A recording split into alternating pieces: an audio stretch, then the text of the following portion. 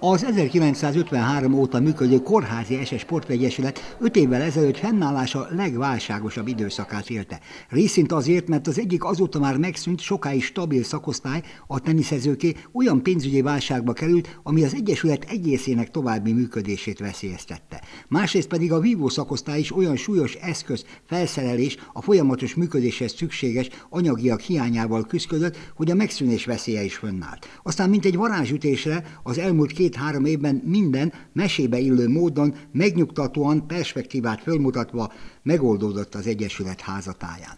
Három pozitív dolgot tudok kiemelni. Az egyik az, hogy stabilizálódó szakosztályunk, a tenisz szakosztály megszűnése után problémákat sikerült megoldani.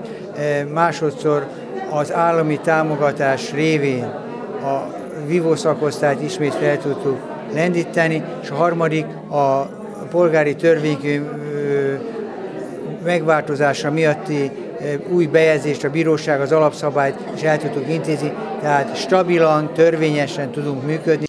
A vívás kiemelten támogató sportágak közé került Magyarországon. Az Országos Szövetség azonnal több mint mentővet dobott a nagyon régóta működő szexárdi törvívóknak. Olyan korszerű eszközök, berendezések kerültek a DNS Valéria általános iskolai centrumba, amelyel be lehetett újra csábítani az edzőterembe a gyerekeket, újra megjelent a kórház ese, előbb a regionális, majd az országos versenyeken is. Ez nagyon nagy öröm számomra, hiszen eh, ha szabad ezt a kifejezést használni, padlón volt voltunk pár évvel ezelőtt, és most ismét virágzik a vívó élet szexádron.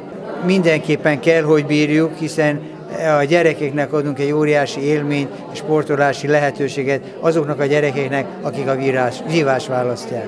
A termet nagyon régóta használjuk, és most sikerült teljesen úgy felszerelni gépekkel, elektromos vezetékekkel, hogy a gyerekek villanyal is tudnak vívni. Immáron két szakosztályos lett a kórház ese. A vívók mellett a természetjárók maradtak, akik szintén kitartanak. Generációk jönnek-mennek, és ma már nem csak kórházi dolgozókból álló szakosztály mindig vonz a távozók helyére családostól, barátostól újabbakat. Akik vannak, azok pedig hosszabb távon maradnak. A létszámot nem szeretnénk nagyon növelni, de muszáj lesz, mert megígértük egy-két túratársnak, hogy az ismerősei jöhetnek. Ez egy ilyen 5-10 fő maximum.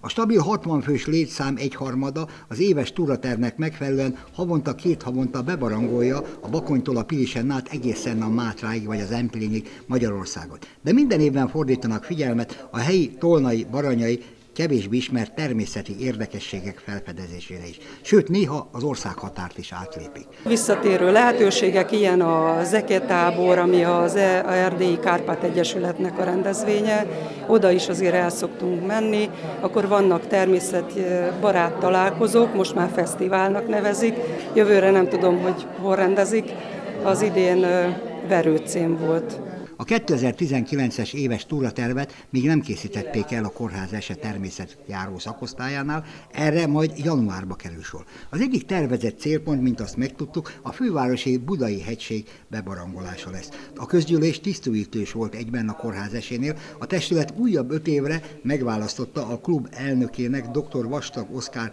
szemészfőorvost, aki a vívó szakosztály 70-es évekbeli fellendítésében fontos szerepet játszott.